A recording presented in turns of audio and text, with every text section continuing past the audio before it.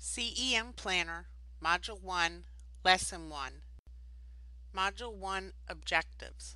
Upon completion of this module, trainees will have the basic understanding of concepts surrounding CEM Planner. Attendees will have the knowledge to self-register for a user account within CEM Planner. The user will create a folder on the desktop. Trainees will have the basic understanding of the universal user tools. Lesson 1 Objectives Upon completion of this lesson, trainees will have the basic understanding of concepts surrounding CEM Planner. What is CEM Planner? It's a virtual planner. This software was designed by county and state planners, and the company Previstar had created the program. It's designed to be a user-friendly software to produce an EOP with a unique and accurate for your specific location, entity, or agency. Some of the benefits are that there's no cost to the end user. The maintenance expenses are all handled by PEMA makes the job of writing and maintaining your plans a lot easier. And the accessibility of CEM Planner for all users is one of those benefits as well. Who can use the software? All state agencies, counties, the regional task force, municipalities, schools, hospitals, and government agent organizations within the Commonwealth of Pennsylvania. If you receive any type of federal or state funding is kind of the, the auspice that you want to fall under for who can use this. Private companies or corporations cannot use this tool for their own use. The types of plans that are currently entered into the program are municipal, county, and the state emergency operations plans, the DEP dam plans for all three categories, radiological plans, and school plans.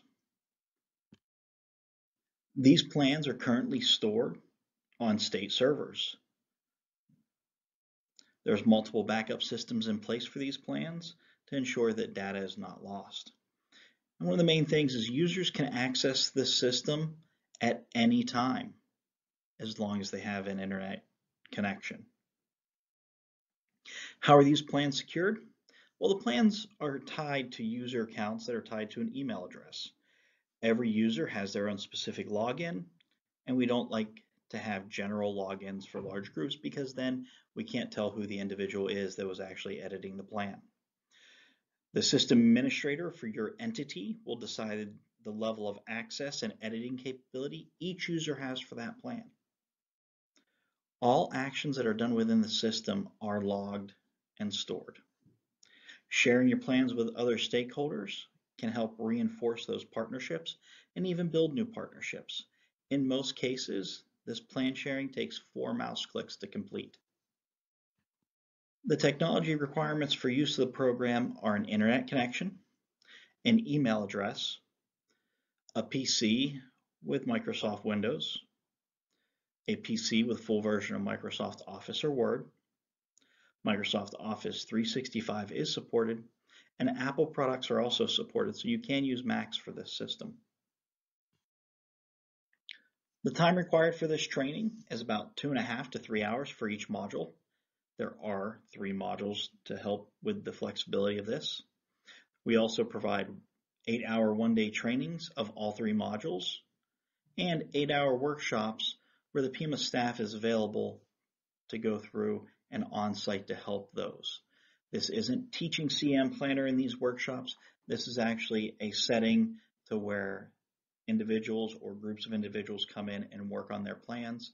And that way PEMA personnel are available if there are any additional needs for the group to help do this planning effort. Now to get a hold of PEMA, you can contact us here and Ready PA